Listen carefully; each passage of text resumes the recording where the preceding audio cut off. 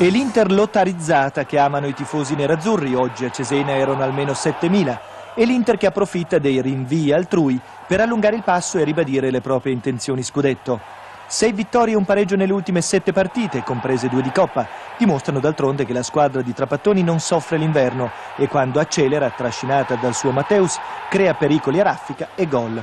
Il primo al Manuzzi giunge al primo affondo di Pizzi e grazie alla contestata pressione di Serena sul portierino Fontana. Per Klinsmann è come rubare non visto la marmellata 1-0. Il Cesena si organizza e pur debole in rifinitura, un solo punto negli ultimi cinque incontri, combatte con grinta e coraggio. Ferri e Paganin non si accorgono l'uno dell'altro e nel pauroso testa a testa alla peggio lo stopper della nazionale.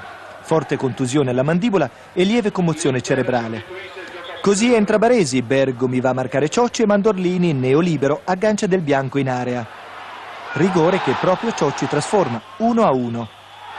Nella ripresa anche Bianchi, Berti e Pizzi crescono di rendimento, ma a segnare Mateus, settima rete campionato, con una delle sue elettriche punizioni. Il Cesena è come investito da un ciclone e soprattutto in difesa si smarrisce. Con uno stacco tipo basket, Serena raggiunge Klinsmann a quota 6 sigilli, e anche Pizzi, che sta migliorando la diagonale con Matteus, ma deve essere più concreto, trova gloria disegnando il 4-1.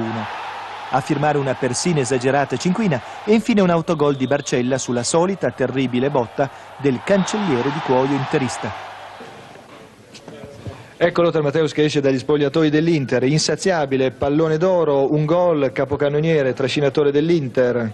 Ma il pallone d'oro, eh, non è ufficiale, inufficiale. Ha scritto oggi il giornale, anche io ho letto solo questa mattina del giornale questa presentazione, ma quanto posso vincere un pallone d'oro sono felicissimo perché è una grande cosa per un giocatore, ma è importante per un giocatore quando lui eh, vince un pallone d'oro e la squadra. Io ho giocato in quest'anno in due grandi squadre, di Germania e dell'Inter, e questo è importantissimo. Sei davanti a Baresi, un italiano, al leader del Milan è una soddisfazione questa, meritava più lui o meritavi più tu?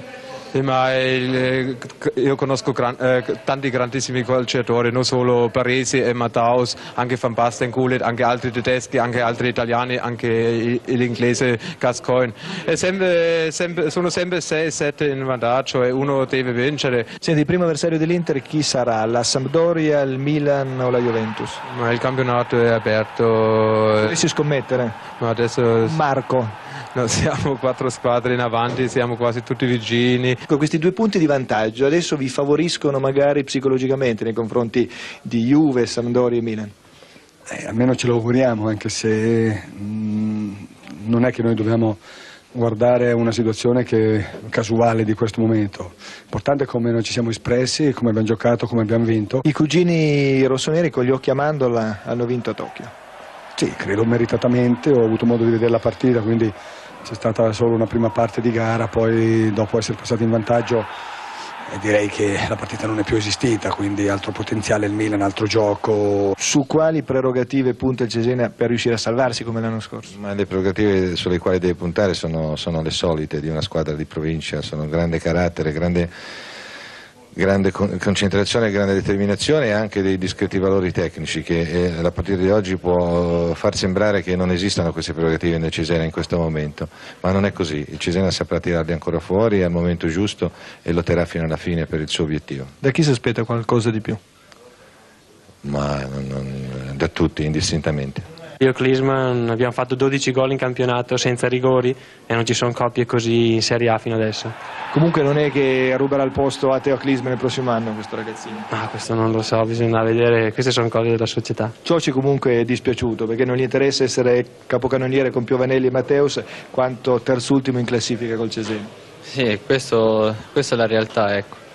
Oggi penso che è una partita a senso unico. Quanti gol promette al Cesena per tenerlo in Serie A? Io non prometto niente, speriamo di salvarci, ecco. Il prossimo anno? Non lo so.